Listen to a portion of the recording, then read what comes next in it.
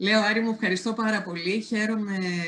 πολύ για αυτή την ευκαιρία και θέλω να ευχαριστήσω και σένα και την Ομαρχιακή Επιτροπή ε, του ΣΥΡΙΖΑ των Ιωαννίνων που είχε αυτή την πρωτοβουλία. Χαίρομαι πολύ που είμαστε μαζί με τον Ευκλήδη ε, σε αυτή την εκδήλωση και θέλω να πω ότι ο Ευκλήδης είναι από τους ανθρώπους που ε, ένιωσα με απόλυτη ζεστασιά και συντροφικότητα να με υποδέχεται από τους πρώτους μήνες το 2018 όταν ένωσα τις προσπάθειες τότε στην κυβέρνηση και στη συνέχεια και στη συνολική πολιτική προσπάθεια του ΣΥΡΙΖΑ και της Προεδρικής Συμμαχίας. Χαίρομαι που είμαστε με τη Μερόπη, που ως Υπουργοί δουλέψαμε με τον Κώστα τον Γαβρόγλου για τις προσλήψεις στην παιδεία και τώρα δουλεύουμε στο χώρο της παιδείας ως αντιπολίτευση, ε, προσπαθώντας να προασπίσουμε κάποιες βασικές αρχές για τη δημόσια εκπαίδευση και φυσικά τη συνέχεια όλων αυτών των σημαντικών θεμάτων στον χώρο της παιδείας. Όπως επίσης, παρότι δεν τον βλέπω, αλλά τον άκουσα πριν, τον Χρήστο το Μαντά, που ως κοινοβουλευτικός εκπρόσωπος όταν ε, μπήκα στην κυβέρνηση το 2018 και εκείνος από τη μεριά της Βουλής με είχε δεχθεί με πολύ μεγάλη ζεστασιά και ενθάρρυνση.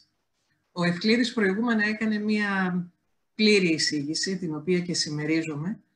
ε, πιστεύω ότι συντρόσεις και σύντροφοι βρισκόμαστε πραγματικά σε ένα σημείο πύκνωσης του πολιτικού χρόνου. Ε, έχουμε ήδη μπει εδώ και καιρό στην επόμενη μέρα της πανδημίας. Θυμάμαι όταν είχα έρθει πριν μερικούς μήνες που είχα τη χαρά να έχω έρθει με τον Δημήτρη τον Τζανακόπουλο που κάναμε την ωραία εκδήλωση τότε που ξεκινούσε η διαδικασία μετά την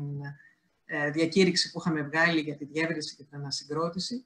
Και αν σκεφτούμε μέσα σε αυτούς τους μήνες και κυρίως αυτό το τρίμηνο, το πρωτόγνωρο που ζήσαμε και το δύσκολο της πανδημίας, πόσα πράγματα πραγματικά έχουν επιταχυνθεί, έχουν αλλάξει, αλλά και την πολύ δύσκολη οικονομική και κοινωνική κατάσταση που πια συλλογικά αντιμετωπίζουμε και ως χώρα και ως κοινωνία. Ε, εγώ δεν θα ήθελα να επαναλάβω την,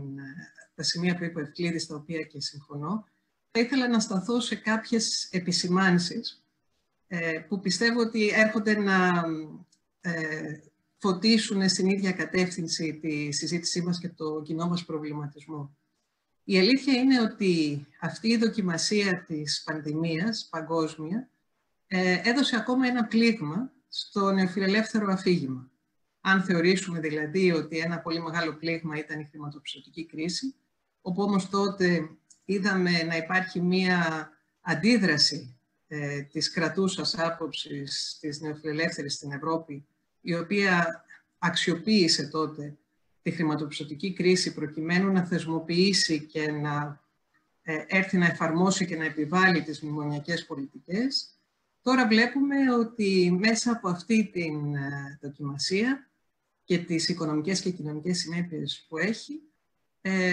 Πιστεύω πραγματικά, και αυτό το ζούμε όλοι και το βλέπουμε όχι μόνο στην Ελλάδα, αλλά και διεθνώς και στην Ευρώπη, ότι οι δικές μας αρχές και αξίες γίνονται ξανά επίκαιρες, το είπε και ο Ευκλήδης πριν, και μάλιστα και αναγκαίες. Λόγω της συγκυρίας, λόγω των συνεπειών, ε, ξανά το Εθνικό Σύστημα Υγείας είναι στην πρώτη γραμμή, το κοινωνικό κράτος, η ανάγκη δημόσιων πολιτικών και παρεμβάσεων στην οικονομία, έχοντας πάρει και τα μαθήματα από την προηγούμενη δεκαετία, αλλά και γιατί η Ευρώπη όχι ξαφνικά έγινε προοδευτική, αλλά ακόμα και η ίδια η Γερμανία και η Μέρκελ που χτες ομολόγησε ότι φοβάται πάρα πολύ τους επόμενους μήνες για τις δυσκολίες και την ύφεση που θα έχει η Ευρώπη συνολικά και η Γερμανία, αναγκάζονται να πάρουν κάποιες ε, αδιανόητες για αυτούς πριν από λίγους μήνες πολιτικές, όπως το Ταμείο Ανάκαμψης, που είπε ο Ευκλήδης προηγούμενα, και μια λογική περισσότερο σε μια κινησιανή αντίληψη. Άρα λοιπόν αυτό είναι ένα πρώτο κρατούμενο, ένα πρώτο εφόδιο σε αυτή την επανεκκίνηση την πολιτική που κάνουμε, ότι ακριβώς ε, αυτά που εμείς πρεσβεύουμε, εκεί που μετεπιτάσεως στα μέσα μαζικής ενημέρωσης, στα διάφορα think tank και εξωθεσμικά κέντρα προσπαθούσαν να πείσουν όλο το προηγούμενο διάστημα ε, και κατά κόρον μετά τις εκλογές του Ιουλίου ότι υπάρχει μία απόλυτη ηγεμονία των απόψεων ε, που πρεσβεύει ο κ. Μητσοτάκης η Νέα Δημοκρατία, αυτός ο ιδιότυπος νεοφιλελευθερισμός ε, με βαλκανικό χρώμα που εφαρμόζουν, τα πράγματα δεν είναι έτσι. Οι ιδέες μας λοιπόν είναι επίκαιρες και αυτό έχει πολύ μεγάλη αξία για τις προτάσεις μας. Το δεύτερο που πιστεύω ότι όλοι πλέον διαπιστώνουμε είναι ότι με στρώματα κοινωνικά που είχαν διαραγεί οι σχέσεις μας ε, το προηγούμενο διάστημα και σε μεγάλο βαθμό αντικειμενικά, καθώς η κυβέρνηση του ΣΥΡΙΖΑ έπρεπε να αντιμετωπίσει από το 2015 μέχρι το 2018 του να κρατήσει τη χώρα όρθια, του να μπορέσει να οδηγήσει στην ε, καθαρή έξοδο από τα μνημόνια που πλέον έχει δικαιωθεί πλήρως, ε, να ρυθμίσει το χρέος, αναγκαστικά και κάτω από την επιβολή τότε των μνημονιακών υποχρεώσεων, δεν μπορούσε να ασκήσει μια πλήρη δική της πολιτική και με αυτή την έννοια απομακρύνθηκε και από μια σειρά κοινωνικά στρώματα, όπως ήταν οι μικρομεσαίοι ή οι αγρότες ή ε, οι επιστήμονες. Επίσης, αυτό το αφήγημα της μεσαίας τάξης που προσπάθησε και σε έναν βαθμό το πέτυχε να, να εκμεταλλευτεί ο, ο Μητσοτάκης και η Νέα Δημοκρατία προεκλογικά και που το διάστημα μετά την έξοδο από το μνημόνιο, παρότι πήραμε πολλά γενναία μέτρα και όταν μπορέσαμε και ανακτήσαμε πάλι την δυνατότητα άσκησης πολιτικής, δεν έφτανε ο χρόνος προκειμένου αυτά τα μέτρα και να φανούν στην κοινωνία και να μπορέσει μια νέα τέτοια αντίληψη οικονομική και κοινωνική να έχει άμεσα αποτελέσματα. Άρα λοιπόν το δεύτερο κρατούμενο αυτής της συγκυρίας, το οποίο είναι κρίσιμο μιλώντας για, την, για το πρόγραμμά μας και για τις προτάσεις μας, είναι ότι ε, ξανά αποκαθιστούμε αυτή τη σχέση διαλόγου καταρχήν και εμπιστοσύνης με κοινωνικά στρώματα όπως είναι οι μικρομεσαίοι επιχειρηματίες, οι επαγγελματίες, οι επιστήμονες, οι αγρότες. Και αυτό είναι η ίδια η ανάγκη που το κάνει. Αφενός υπάρχει πλήρης διάψευση όλων αυτών των στρωμάτων από την πολιτική που εφαρμόζει η κυβέρνηση Μητσοτάκη και αφετέρου είναι και το ότι ξέρουν ότι αυτά που προτείνουμε είναι κομμάτι της δικής μας ιδεολογίας και πολιτικής και άρα βαθιά μέσα τους ξέρουν ότι εμείς δεσμευόμαστε. Δεν είναι λόγια ωραία, είναι η δική μας αντίληψη. Αυτά που προτείνουμε όσον αφορά την οικονομία, την κοινωνία και τα μέτρα που θα έπρεπε να πάρθουν τώρα για την αντιμετώπιση της ύφεση και των συνεπειών αυτής της νέας κρίσης που αντιμετωπίζουμε. Άρα λοιπόν μπορούμε να πούμε ότι διαμορφώνεται αυτή τη στιγμή ένα πρώτο πλαίσιο, το οποίο βέβαια πρέπει να δουλέψουμε προκειμένου αυτό να αποκτήσει υπόσταση και προοπτική, μιας νέας προοδευτικής κοινωνικής συμμαχίας ανάμεσα στον κόσμο της εργασίας, που σαφώς εκφράζεται πάγια μέσα από τις θέσεις μας, ε, τον κόσμο που είναι αδύναμος, τους κοινωνικά περιθωριοποιημένους, τους ανθρώπους που χρειάζονται στήριξη και φυσικά και των, της μικρομεσαίας επιχειρηματικότητας και των μεσαίων στρωμάτων και, της, και του αγροτικού κόσμου. Άρα αυτό λοιπόν έρχεται να δημιουργήσει ε, σε προοδευτική βάση προτάσεων ένα νέο πλαίσιο κοινωνικής αναφοράς.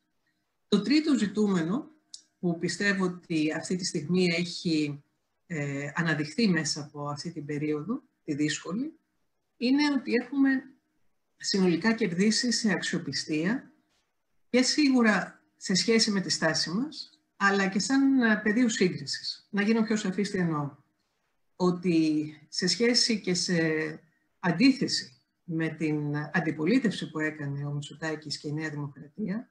ε, η αντιπολίτευση των κατηγοριών περί προδοσίας, επειδή σήμερα είναι και η σημαντική επέτειος της Συμφωνίας των Προσπών, που τα θυμόμαστε γιατί είναι πάρα πολύ πρόσφατα όλα αυτά,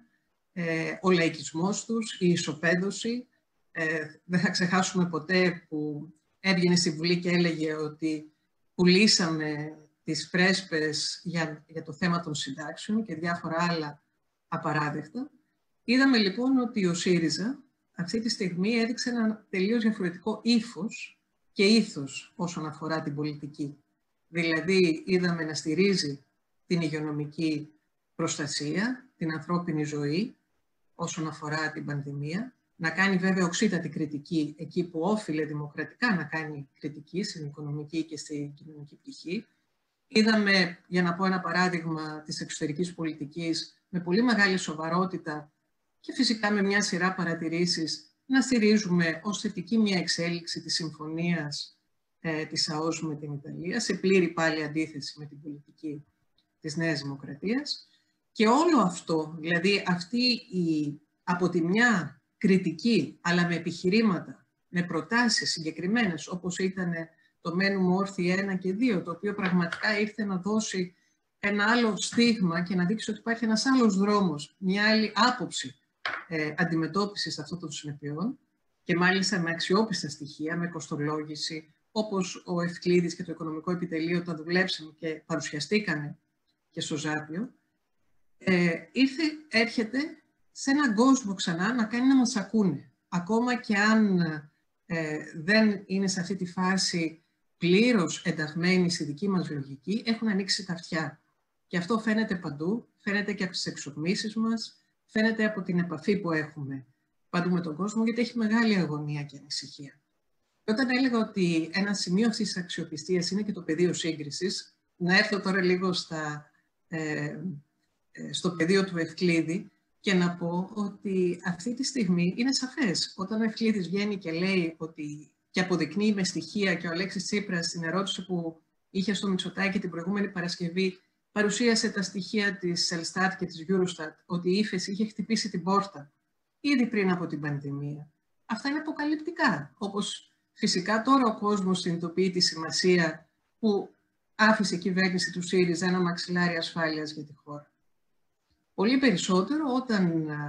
ο ελληνικός λαός αυτή, αυτή τη στιγμή βλέπει μια κυβέρνηση η οποία χρησιμοποιεί ως αφορμή αυτή τη νέα κρίση αφενός για να αποδιαρθρώσει πλήρως και περαιτέρω, γιατί η αποδιάρθρωση είχε ξεκινήσει ήδη μετά τις εκλογές τις εργασιακές σχέσεις. Στην κυριολεξία αυτή τη στιγμή οι εργαζόμενοι δεν ξέρουν πού θα βρίσκονται, αν θα έχουν δουλειά μετά τον Οκτώβρη όσοι μπήκαν σε αυτή την περίφημη ιστορία της συνεργασίας, οι υπόλοιποι ήδη δεν έχουν δουλειά και οι εποχικοί εργαζόμενοι ζουν κυριολεκτικά να είναι φιάλτοι. Το ίδιο και οι μικρομεσαίες επιχειρήσεις, το ίδιο τουρισμός. Το ζούμε παντού, γύρω μας, αυτή την αγωνία και αυτή την ανασφάλεια. Έτσι έρχομαι στο θέμα που είναι και το βασικό ζήτημα και που ήδη θα συμφωνήσω με αυτά που είπε ο Ευκλήδης. Απλώς θέλω να πω ότι το μένου όρθι, ε, πέραν το ότι είχε αυτή την αξιοπιστία στον τρόπο παρουσίασης και στα στοιχεία και τη δυνατότητα την οικονομική, ε, ταυτόχρονα ήταν και ένα πρώτο στίγμα αυτής της διαφορετικής αντίληψης για την πολιτική σε αυτή τη συγκυρία και για την ε, προγραμματική μας πρόταση. Γιατί ακριβώς είχε μέσα και το στοιχείο που στήριζε την εργασία, πρώτιστα,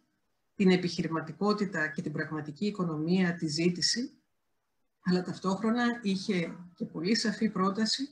όσον αφορά το έκτακτο εισόδημα για αυτή την κρίση που περνάμε, όπου κυριολεκτικά υπάρχουν γύρω μας χιλιάδες αόρατοι άνθρωποι, σε όλους τους τομείς της οικονομίας, όπως επίσης στον πολιτισμό, όπως επίσης σε διάφορες άλλες οικονομικές και κοινωνικές δραστηριότητες, αλλά και βέβαια το στοιχείο ξανά της δημόσιας παρέμβασης στην οικονομία όσον αφορά τη δημόσια πολιτική, τον προγραμματισμό ε, και όσον αφορά το κοινωνικό κράτος και τις δημόσιες επενδύσεις. Αλλά φυσικά το μεν όρθι, παρότι έχει αυτό το έντονο πολιτικό στίγμα, ε, είναι μια γέφυρα. Είναι ένα άμεσο προγραμματικό πλαίσιο γιατί το τετράμινο αυτό και για την έκτακτη συγκυρία που ζούμε. Αλλά σίγουρα αυτό που είναι κρίσιμο, και εκεί θα συμφωνήσω απόλυτα με τον Ευκλήδη, είναι αυτή τη στιγμή να μπορέσουμε να προβάλλουμε ένα ολοκληρωμένο πολιτικό αφήγημα, ένα πολιτικό και προγραμματικό πλαίσιο το οποίο να έρχεται όχι απλώς να απαντήσει στη συγκυρία,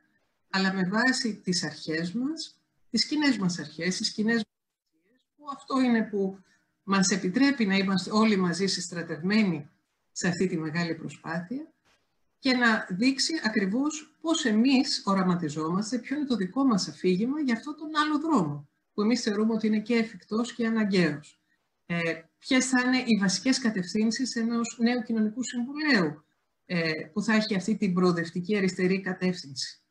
Και σίγουρα και οι νέες συνθήκες που έχουμε με την πανδημία, αλλά σίγουρα και όπως και ο Ευκλήδης είπε πριν, αυτά τα νέα δεδομένα στα οποία οφείλουμε να απαντήσουμε. Ε, είναι σαφές ότι ένα τέτοιο προγραμματικό πλαίσιο και νομίζω ότι αυτή είναι και η προσπάθεια που γίνεται τώρα να παρουσιαστεί προκειμένου να γίνει και κτήμα και ε, πεδίο διαλόγου και συζήτησης μέχρι το συνέδριο, είναι αυτό το οποίο ε, θα έλεγα ότι είναι κρίσιμο και για τις τρεις κρίσεις που είπε ο Ευκλήδης πριν, βάζοντας φυσικά και τη διάσταση των κοινωνικών και περιφερειακών ανισοτήτων, δηλαδή και το κομμάτι της κρίσης της υγειονομικής, της κλιματικής. Ε, θα πρόσθετα ότι ε, είναι σίγουρο ότι μία τέτοια συζήτηση πρέπει να ξεκινάει από κάποιες παραδοχές. Δηλαδή ότι εμείς πιστεύουμε ότι δεν καθόμαστε να περιμένουμε απλώς τη φθορά της Νέας Δημοκρατίας, τη λογική του όριμου φρούτου. Εμείς πιστεύουμε ότι είναι η στιγμή ακριβώς να μπορέσουμε να διαμορφώσουμε αυτή την κοινωνική δυναμική και συμμαχία βάσει προτάσεων και βάσει μιας συνολικής και μακροπρόθεσμης ενόρασης μιας στρατηγικής μετασχηματισμού της ίδιας της κοινωνίας και φυσικά του ίδιου του παραγωγικού μοντέλου μέσα σε αυτό το πλαίσιο των νέων δεδομένων. Ακούγοντας τον Ευκλήδη, σκέφτηκα κάτι. Πολλές φορές ε, μας κατηγορούν, είναι ένα από τα στερεότυπα που ακούμε. Τα ακούμε στη Βουλή, τα ακούτε όλοι στο δημόσιο λόγο.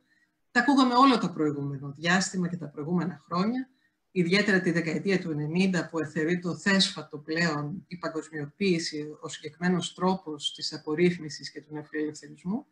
ότι οι άνθρωποι που πιστεύουμε σε αυτές τις ιδέες ε, είμαστε κατά κάποιο τρόπο με αναφορά στο παρελθόν. Έχω την αίσθηση ότι, και αυτό εμένα με γεμίζει αισιοδοξία και το σκεφτόμουν τώρα που άκουγα τον Ευκλήδη, ότι τώρα είναι με αναφορά στο μέλλον. Δηλαδή αυτές οι ιδέες μας, αυτή είναι η διαφορά αυτής της περίοδου που ζούμε, είναι ότι δεν είναι με αναφορά στο παρελθόν, ένα παρελθόν που βέβαια το τιμούμε για τους κοινωνικούς αγώνες και τις κατακτήσεις, αλλά ακριβώς όλα αυτά τα στοιχεία έρχονται να απαντήσουν σε αυτό το νέο πλαίσιο το οποίο είναι κρίσιμο ε, για το μέλλον. Και νομίζω ότι εκεί ακριβώς ε, μπορούμε να οικοδομήσουμε αυτή την νέα προγραμματική ε, συζήτηση και αυτό το νέο πρόγραμμα το οποίο να είναι και η βάση μας για να μπορέσουμε να αποκτήσουμε και να πείσουμε ε, αυτή την ανάγκη μιας συνολικής συστράτευσης για την υλοποίησή του. Ε, κάπου ο Ευκλήδης, ε, νομίζω το είπες Ευκλήδη κάποια στιγμή αυτές τις μέρες, για αυτή την Επιτροπή Πισαρίδη. Εγώ ήθελα να θυμίσω απλώς ε, ότι ο κύριος Πισαρίδης, ο οποίος είναι καθόλου αξιόλογος οικονομολόγος, ε, είχε, είναι ένας από τους πατέρες της φαϊνής ιδέας της διαθεσιμότητας στο δημόσιο. Δηλαδή ήταν η αντίληψή του για να ξέρουμε και ποιοι είναι αυτοί οι οποίοι έχουν αναλάβει αυτή τη στιγμή, υποτίθεται να ε, φέρουν το σχέδιο για τη νέα περίοδο που περνάει η χώρα, τις νέες προκλήσεις, να αντιμετωπίσουμε την ύφεση και να αξιοποιήσουμε τις ευρωπαϊκές δυνατότητες. Ε, είναι, είναι ένας από τους πατέρες της λογικής της διαθεσιμότητας και των απολύσεων στο δημόσιο, ε, ότι με αυτόν τον τρόπο και της μείωσης των μισθών θα μπορούσε τότε να αντιμετωπιστεί ε, η κρίση και τα προβλήματα που είχε η χώρα. Ε, θα ήθελα να κλείσω με δύο σημεία. Ε, όσον αφορά τα ευρωπαϊκά, επειδή είναι και επίκαιρο. Την Παρασκευή υπάρχει Ευρωπαϊκό Συμβούλιο, εκεί θα γίνει μια πρώτη συζήτηση ε, και για τις προτάσεις της Ευρωπαϊκής Επιτροπής για το Ταμείο Ανάκαμψης. Σίγουρα δεν θα υπάρξει απόφαση την Παρασκευή. Υπάρχει ακόμα και αντίδραση από ένα κομμάτι βόρειων χωρών. Ε, και επίσης γιατί φαντάζομαι ότι η ίδια η Μέρκελ θα θέλει αυτό να γίνει μέσα στη Γερμανική Προεδρία που ξεκινάει από την 1η Ιουλίου, καθώς αυτό και το Δουβλίνο και το προσφυγικό, άρα δύο άμεσα θέματα που μας αφορούν. Σήμερα μιλάμε κυρίως εδώ για το κομμάτι του οικονομικό και κοινωνικό, αλλά υπάρχει και το θέμα της δημοκρατίας, των δικαιωμάτων, το προσφυγικό που είναι κρίσιμα ζητήματα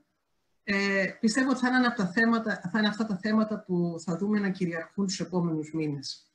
Ε, πιστεύω ότι αυτή τη στιγμή η δυνατότητα που ανοίγει εφόσον υπάρξει ένας προθητικός συμβιβασμός, ένα θετικό συμβιβασμός ε, σε σχέση με το Ταμείο Ανάκαμψης και όσον αφορά το ποσό και όσον αφορά τις προϋποθέσεις ε, για να μπορέσουν να αξιοποιηθούν και από τη χώρα μας και από τις άλλες χώρες του Νότου και της Συνοχής, έχει μεγάλη σημασία με ποιο σχέδιο ποια στόχευση και φυσικά με ποιες διαδικασίες. Γιατί θα ήταν τραγικό αυτή τη στιγμή ε, να υπάρξει μια τέτοιου είδους δυνατότητα για τη χώρα και να μην υπάρχει ένα σχέδιο πραγματικά το οποίο να προβάλλει μία μακροπρόθεσμη στρατηγική για την οικονομία, για τον μετασχηματισμό ε, του παραγωγικού μοντέλου, στη λογική που ανέφερε ο Ευκλήδης και θα συμφωνήσω απόλυτα μαζί του και στη λογική ενός δημοκρατικού προγραμματισμού, γιατί αυτό είναι και ένα από τα στοιχεία που σαφώς μας ξεχωρίζει. Εμείς πιστεύουμε στη λογική αφενός ενός δημοκρατικού κράτους, το οποίο είναι έκφραση και ελέγχεται από τη λαϊκή κυριαρχία, το οποίο έρχεται ε, να παρέμβει, δεν είναι απλώς ένας χωροφύλακας ιδιωτικών συμφερόντων, αλλά έρχεται να προασπίσει τα συμφέροντα τα κοινωνικά μέσα στην ε, οικονομική δραστηριότητα, έρχεται πραγματικά να διασφαλίσει την, ε, τις δημόσιες αυτές παρεμβάσεις στη λογική του ευρύτερου δημόσιου συμφέροντος και, της, ε, και όσον αφορά την αντίληψη της οικονομίας και της κοινωνίας, αλλά που είναι και ένα προϊόν ενός δημοκρατικού προγραμματισμού και σχεδιασμού, λαμβάνοντας υπόψη φυσικά και τους φορείς και την ε, κοινωνία και την περιφέρεια. Άρα σε όλα αυτά τα πεδία, ε, και θέλω έτσι να το δέσω με την προγραμματική μας δουλειά, αποκτά ακόμα μεγαλύτερη σημασία και ο, ο τίτλος του σημερινής εκδήλωσής μας, ότι από το μένου μόρφη, που πραγματικά έδωσε αυτό το στίγμα της διαφορετικής αντιμετώπισης, σε έναν μακροπρόθεσμο στρατηγικό σχεδιασμό που η χώρα μας πολύ γρήγορα θα υποχρεωθεί ε, να υλοποιήσει, να συμφωνήσει κοινωνικά και πολιτικά και να υλοποιήσει και να εφαρμόσει. Ε, δύο λόγια ακόμα για την ε, δυνατότητα του να κάνουμε αυτή την πολιτική δουλειά και πώς μπορούμε να διαμορφώσουμε αυτές τις κοινωνικές και τοπικές συμμαχίες. Το ένα έχει να κάνει φυσικά με την ίδια την ε, δική μας πολιτική λειτουργία. Αυτό το τρίμηνο φυσικά η φυσική παρουσία ήταν δύσκολη, όσο και αν οι νέες τεχνολογίες μας δίνουν πολύ ωραίες δυνατότητες, όπως η σημερινή, και πρέπει να συνεχίσουμε να τις αξιοποιούμε. Ε, η προσωπική φυσική παρουσία και πολιτική δράση είναι αναντικατάστατη. Άρα σίγουρα θα έχουμε τη δυνατότητα από εδώ και πέρα, να, ήδη με τις εξορμήσεις έχουμε ξεκινήσει, να έχουμε μια τέτοιου είδους πολιτική παρουσία παντού, σε όλα τα επίπεδα, στους χώρους δουλειάς, στα κινήματα, στις τοπικές κοινωνίες, με έναν οργανωμένο τρόπο και νομίζω ότι θα έχουμε και ένα πολύ μεγάλο πεδίο πλέον συζήτησης. Γιατί όπως είπαμε, ο κόσμος και μας ακούει, αλλά έχει αρχίσει πια και να αναζητεί αυτές τις συζητήσεις και αυτό το διάλογο. Το δεύτερο, και θα κλείσω με αυτό, γιατί και εγώ είμαι αισιόδοξη, παρά τις δυσκολίες που έχουμε μπροστά μας, ε,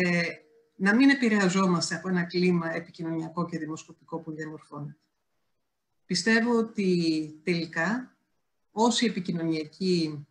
αυτή τη στιγμή υπεροπλία να έχει η κυβέρνηση της Νέας Δημοκρατίας και το βλέπουμε και το ζούμε, τελικά αυτό που επικρατεί είναι η πραγματικότητα. Είναι η πραγματικότητα και αυτό που θα βιώνει ο καθένας και η καθεμιά μας το επόμενο διάστημα και που θα βιώνουμε συλλογικά ως κοινωνία. Συνεπώς, χωρίς καμία διάθεση κινδυνολογίας και καταστροφολογίας, το αντίθετο, εμείς ερχόμαστε με θετική δράση και θετική πρόταση για τώρα και για το μέλλον. Πιστεύω ότι θα είναι οι ίδιες οι πυκνές πολιτικές εξελίξεις και η ίδια η κοινωνική πραγματικότητα η οποία ε, θα μας δώσει αυτό το πεδίο, αρκεί εμείς να μπορούμε να είμαστε με συλλογικότητα, με οργανωμένο τρόπο έτοιμοι και να συνεχίσουμε και ακόμα να εντείνουμε πολύ περισσότερο αυτή την παρέμβασή μας. Ευχαριστώ πολύ και ελπίζω την επόμενη φορά να έχουμε την ευκαιρία να τα πούμε και από κοντά. Το ελπίζουμε και εμείς Μαριλίζα, σε ευχαριστούμε για αυτή την πρώτη τοποθέτηση. Έβαλες και εσύ στο ίδιο μεγάλο πλαίσιο τη συζήτηση και μάλιστα το κατεύθυνες και προς την ε,